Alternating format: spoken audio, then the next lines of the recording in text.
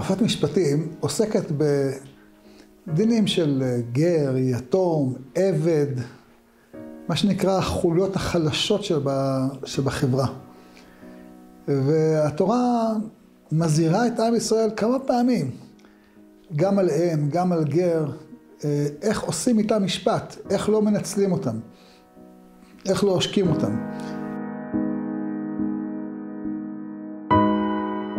וצריך לדעת שהדבר הזה הוא חידוש עצום. הרי רק הרגע יצאו בני ישראל מבית עבדים, שאנחנו פשוט לא יכולים לתאר את גודל התועבה של בית עבדים. בית עבדים, עבדים זה הדבר הכי מושפל בעולם שהיה בימיהם. אנחנו זוכרים את הגזרות של פרעה ממש כמה חודשים קודם לכן. הם היו עוד בבית עבדים במצרים. זה שהם יצאו מבית עבדים זה לא אומר שהעולם יצא מבית עבדים. מצרים המשיכה להיות בית עבדים, ורומא המשיכה להיות בית עבדים.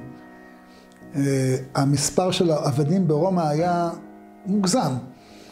ועבד ברומא, מה החיים שלו היו שווים? כלום.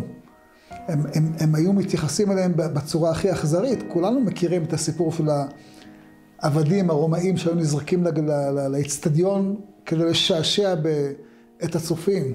לראות אותם נטרפים, לראות אותם טובעים, נשרפים, נחנקים. לצערנו הסיפור הזה לא סיפור, ש...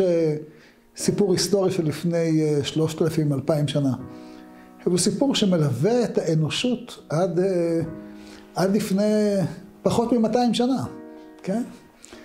עוד לפני, כשה, כשה, כשהעמים האירופאים כבשו את, את אפריקה, הם, הם הוציאו משם מיליוני עבדים, הסיעו אותם, הסיעו אותם באוניות, חציים מתו בדרך. החצי שהגיע, הגיע בקושי.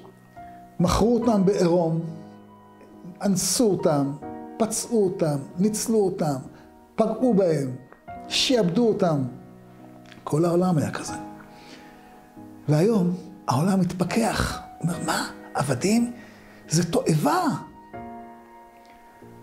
בוקר טוב, בוקר טוב, בוקר טוב עולם. תראה איך התורה מלמדת אותנו להתייחס לעבדים, באיזה אנושיות. שאם אדם נתן אגרוף לעבד שלו והפיל לו שן, הוא שוחרר. לא תסגיר עבד אל אדוניו. שש שנים יעבוד ובשביל יצא לחופשי חינם. איזה ציוויים יש בתורה להיזהר, כי יש צלם אלוקים באדם. כמה שנים העולם לא ידע את זה. לא רק ב, אה, באפריקה, באמריקה, ברוסיה, באירופה. לא ידעו מה זה בני אדם. לא ידעו מה זה חשיבות של בן אדם. ברוך השם, לקח לעולם כמה אלפי שנים והוא למד כמה אנחנו צריכים לומר תודה לקדוש ברוך הוא. שהקדמנו את העולם בתחום הזה ביותר משלושת אלפים שנה. כן, שלושת אלפים שנה הקדמנו את העולם, כמה סבל מנענו, כמה צער מנענו, כמה כאב מנענו, רק במצווה אחת. תחשבו על שאר המצוות שבפרשה.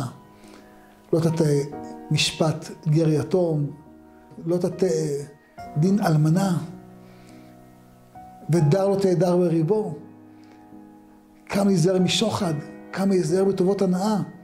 כמה הלכות חשובות יש בפרשה הזאת, שכשקוראים אותה ומשווים אותה למה שהיה אז ולמה שקורה היום, רואים את האור של התורה זורח מסוף עולם ועד סופו.